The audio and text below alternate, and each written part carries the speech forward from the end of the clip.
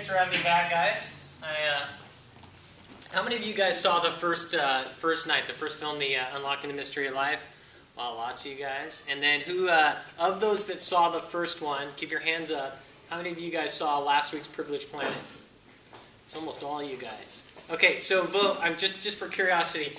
Which one did you guys like better? And I don't get offended, right? We um, I'm with the company that produced those, but uh, so of, of the first one, Unlocking the Mystery of Life, which covered the, the biology or microbiology, that was your favorite. We got three. Privileged Planet. Wow. Okay.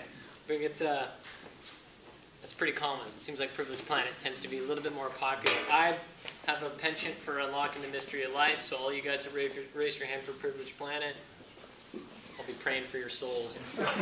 um, what am I going to cover tonight? Okay, um, we've covered in the first week, right, was uh, the evidence for um, intelligent design in microbiology. The second week, we looked at Privileged Planet, which uh, talks about the, the evidence for God or an intelligent designer in cosmology and astronomy and so forth, right?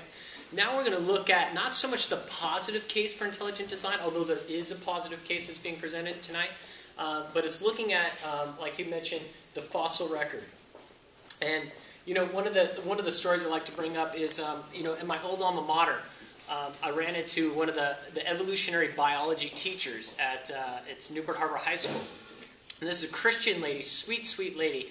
And uh, got the chance to sit down with her and ask her, you know, uh, my understanding is you teach evolution in your class and you're a Christian. She's like, yep. And I asked her, you know, what is it that has compelled you to believe that evolution is true? And she said, the fossil record. And I asked her, I go, what about the fossil record makes you think uh, evolution is true? How does it corroborate the story that Darwin gave? And uh, she said, well, because it shows forms going from small, uh, you know, simple forms to more complex forms. And we see that in the fossil record. And I asked her, I go, have you ever looked at it? She said, no. And I go, would it shock you to find out that Darwin himself, in The Origin of Species, said the most obvious objection you can levy against my theory is the fossil record? Did you guys know that? The most obvious objection to my theory is the fossil record. There's a few reasons why he brought that up.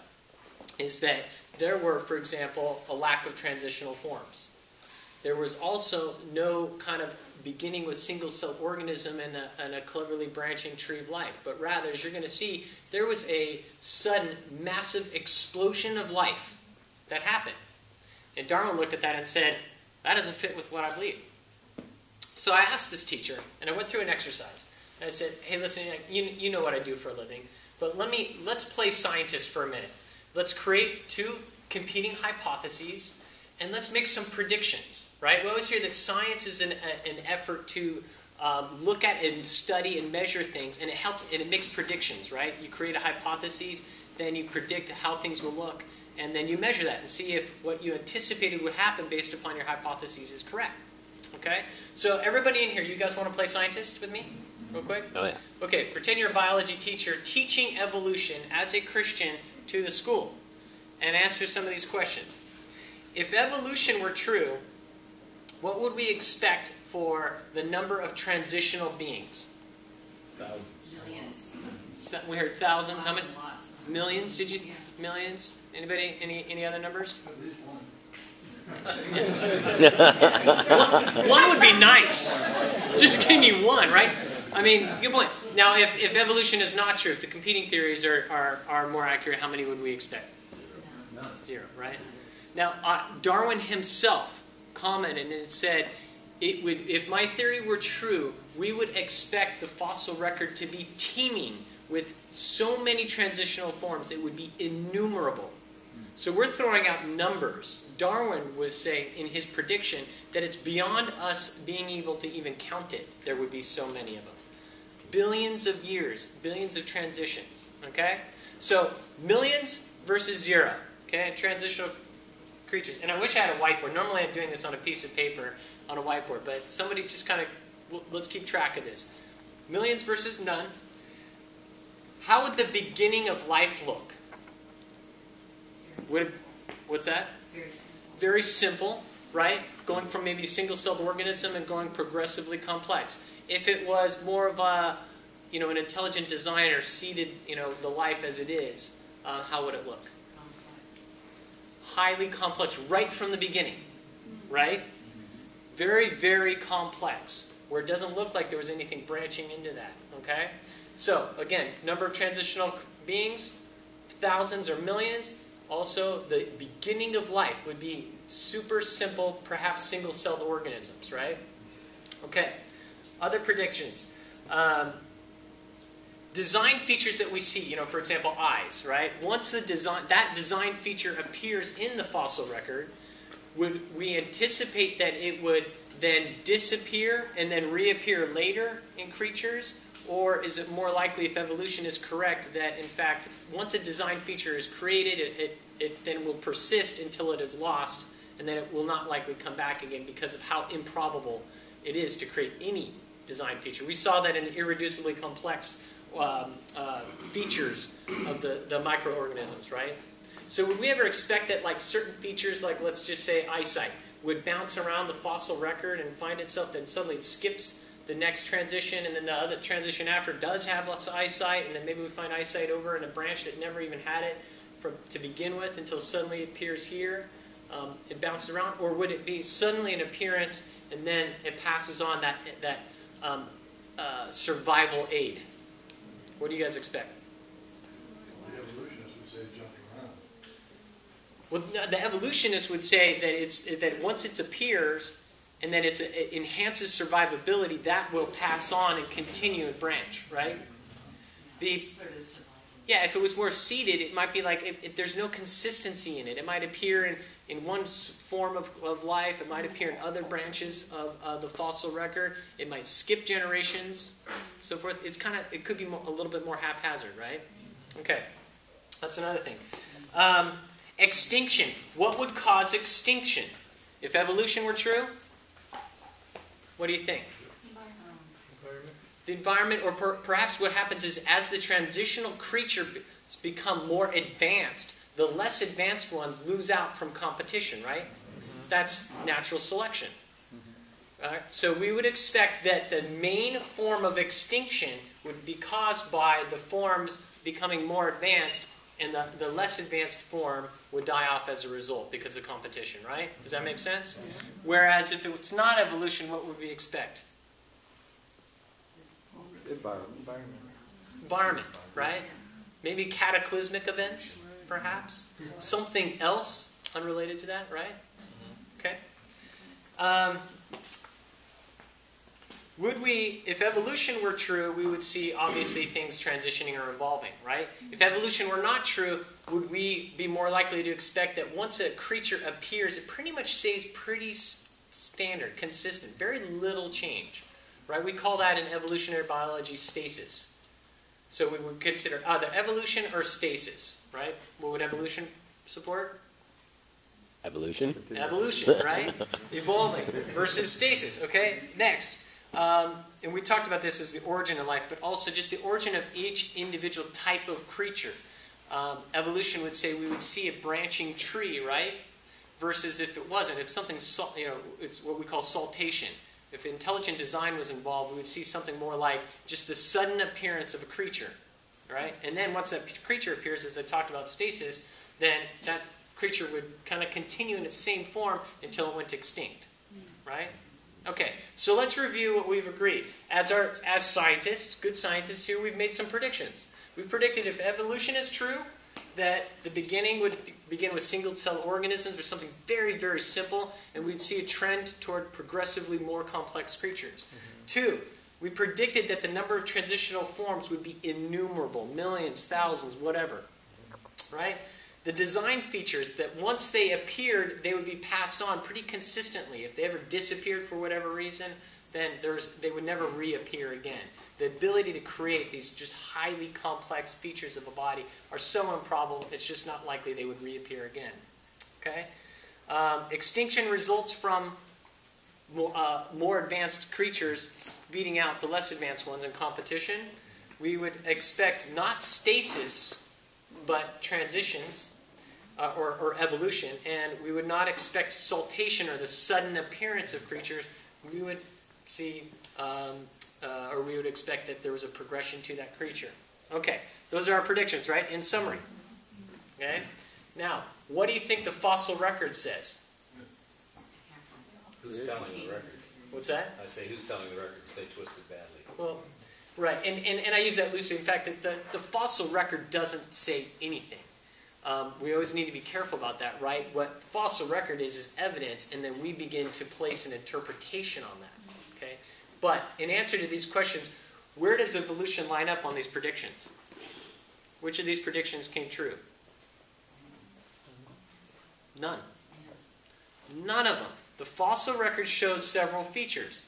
First, the beginning was a sudden, massive explosion of highly complex organisms. You're going to see examples of that here, where they just appear out of nowhere.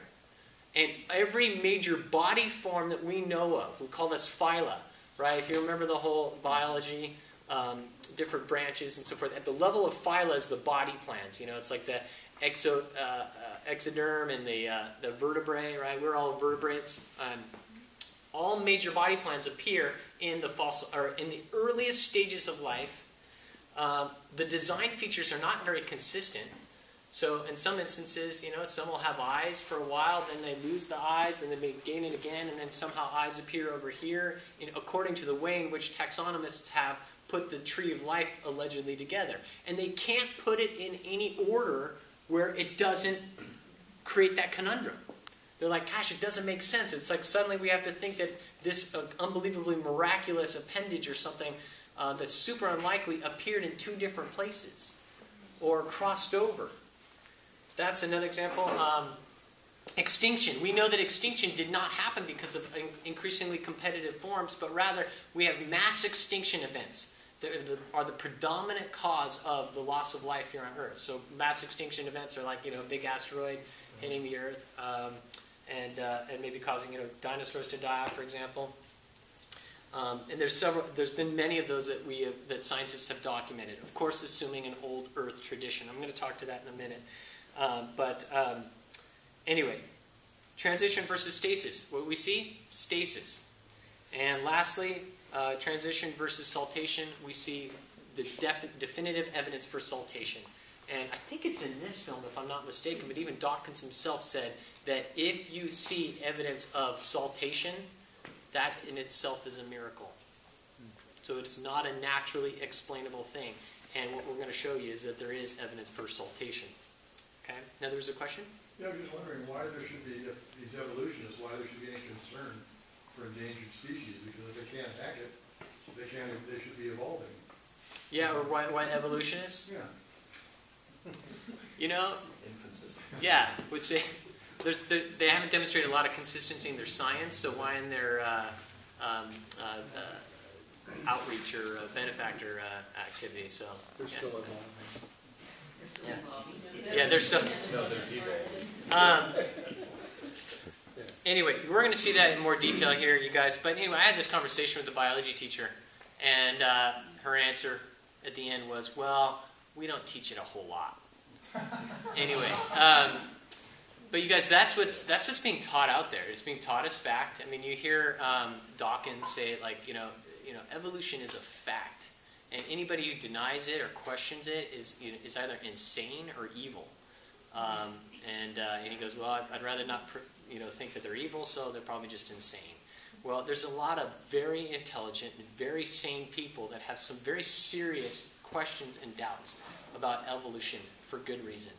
You know, the best evidence for evolution that's been proffered are things like, you know, the evidence for microevolution. We've heard that, right? Peppered moths going from black to white and back, right? HIV virus building up immunities and so forth, right? We all agree with that, right? So, is evolution a fact? Well, yeah. I mean, depending on what form of evolution you're referring to. But, um, but that, those evidence of microevolution, what we know is a fact, does not correlate necessarily to a, a, a profound macroevolutionary theory. Um, embryology. Uh, I'm not going to steal the thunder too much from next week, but I think next week we're watching Icons of Evolution. So we're going to discuss that.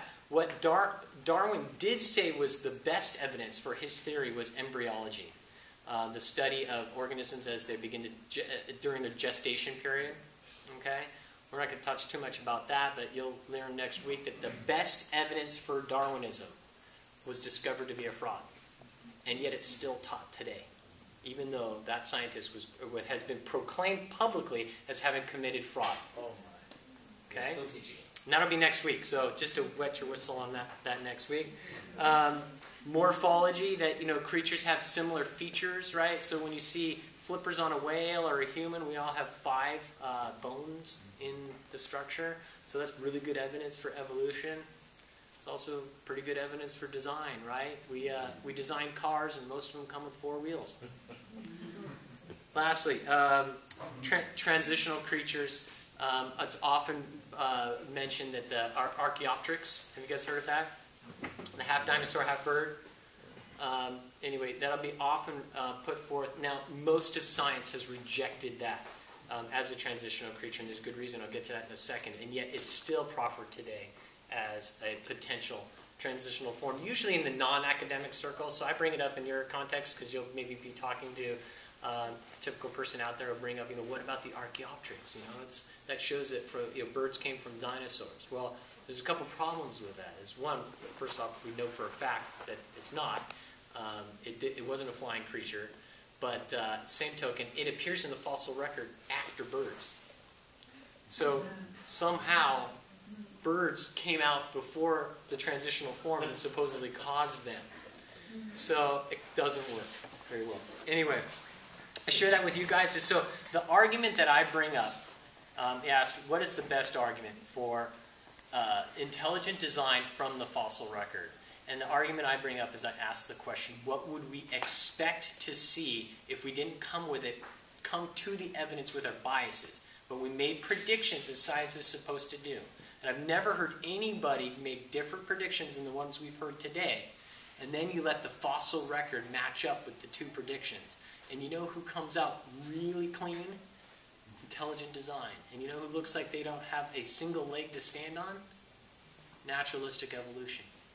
So anyway, you guys enjoy the film tonight. This is actually one of my favorite because one, and it took the most work. It was the hardest one to make Um, because of all the computer graphics. But it's fascinating. You're going to hear another argument that I think I talked about in the first week too, that talks about how certain cells need to know where their end end result is going to be as they go along the process of dividing. So be watching for that because it's it's a super compelling argument. Anyway, enjoy the film, you guys, and thanks. What was the last thing you said after creation over? Undergraduate, I studied engineering and I had very